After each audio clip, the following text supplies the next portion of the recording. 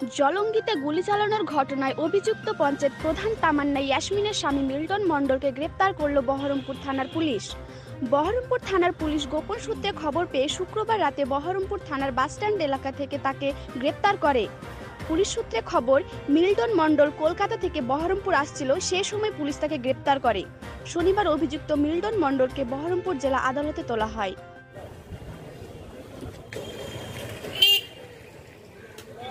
সমস্ত খবর দেখতে চোখ রাখুন এমএসটি নিউজে সব খবর সবার আগে পেতে এখনই সাবস্ক্রাইব করুন এমএসটি নিউজ আপনাদের পাশে সবসময় আছে এমএসডি নিউজ